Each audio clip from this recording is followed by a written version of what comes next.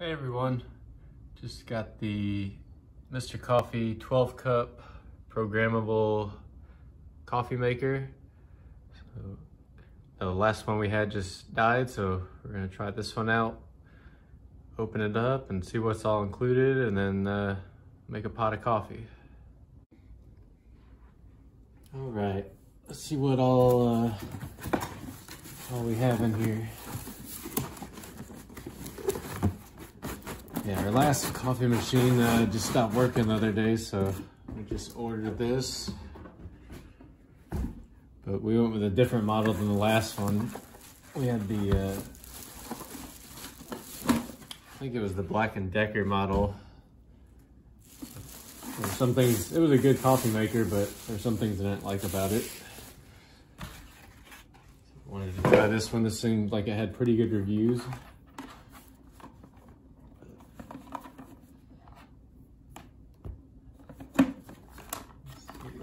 This one came with a reusable uh, filter. So that'll be nice. You can yeah, rinse it out after each time and uh, nice big lid. So if you ever do have to clean it out, you can actually get your hand down there. Um, I know our last one really couldn't, uh, you'd have to use a brush or something if you wanted to clean it, but that's kind of nice how the whole lid lifts up like that.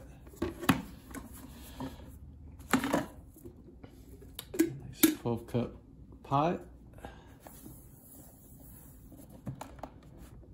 Yeah, this seems like a better material. I don't know if it'll, uh, the last one we had, it got really nasty and all this paint started chipping off. This seems like more of a, uh, better coating than the last one had. And as far as the settings, uh, you can brew it later.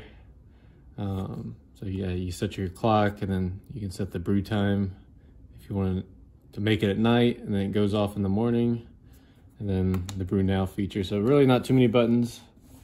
Um, but yeah, let's go try to make a pot of coffee and see how it does. Okay, it's early. I need a cup of coffee. So let's go ahead and make this. Got it plugged in. Um, I'm gonna go ahead and set the time. So it's 7.41 in the morning.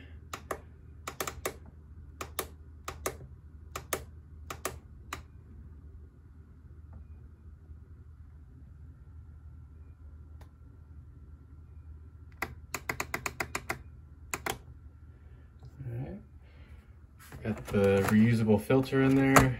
This thing just swings out of the way. Um, and then if you wanted to take this out, clean it, but that just kind of pops down in there. Filter back. Need to add my coffee.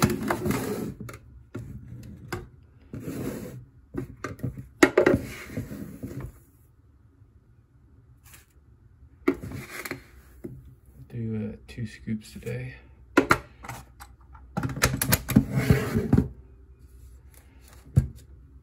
Our nozzle back and then fill up the reservoir.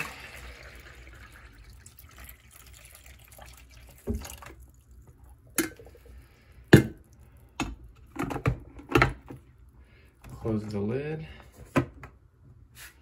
and then we'll hit brew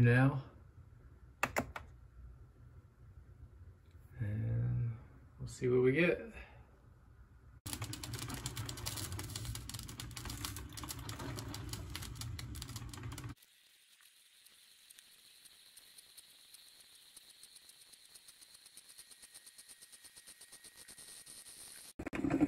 Okay, there's coffee still in the pot up top, and there's one thing I wanted to try. I poured a cup, is I want to take this out and see how much coffee spills when uh, when it hasn't finished draining yet. So let's see, we'll take it out. you got about one drop. It's not too bad. Don't feel like anyone's ever perfect. That's better than my last one, I think.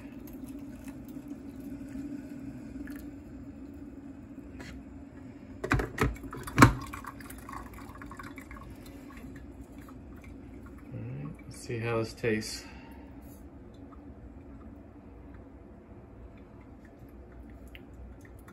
Pretty good. Uh, we were using the uh, paper filters before. So I think yeah, with the uh, washable filter, uh, I think you probably get more flavor just because it, uh, I think it allows some of the, the smaller fines to go through. So I think you end up getting more of the coffee flavor.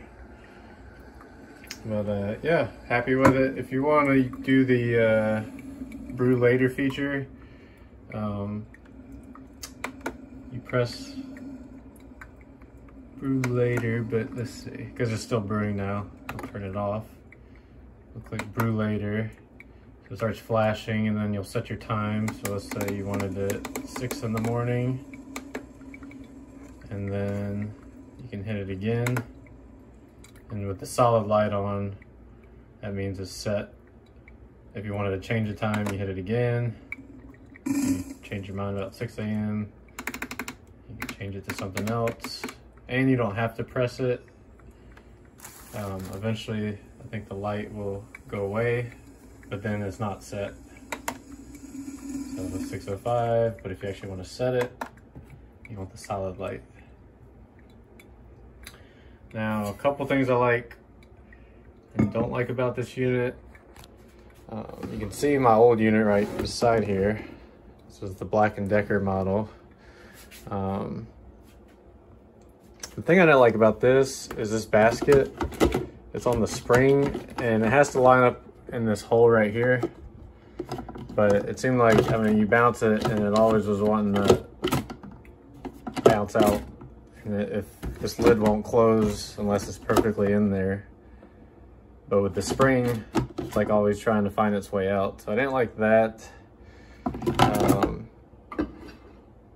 this will be to, de to be determined if this one does it, but the surface down here, just when you pull a coffee out, this thing got really nasty and like the paint was like chipping off here. Um, so we'll see if this one does that as well. I wanted to show you how much this one dripped felt like it dripped a lot more. The last one just dripped, had one drip. So let's see.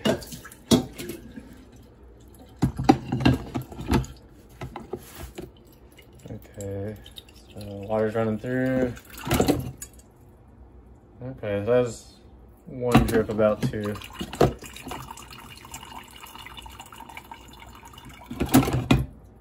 Well, was, I feel like that was a little more as far as it's hard to tell.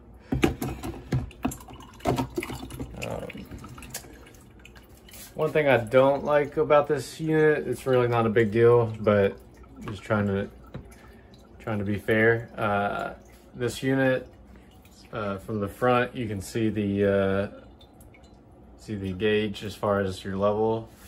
This one, uh, you have to go around to the side, and it's not as obvious. It's a little hard to read. So I would say that is a negative of this one, but really, I mean, you can open the lid and see how much water you got. So um, not a big deal.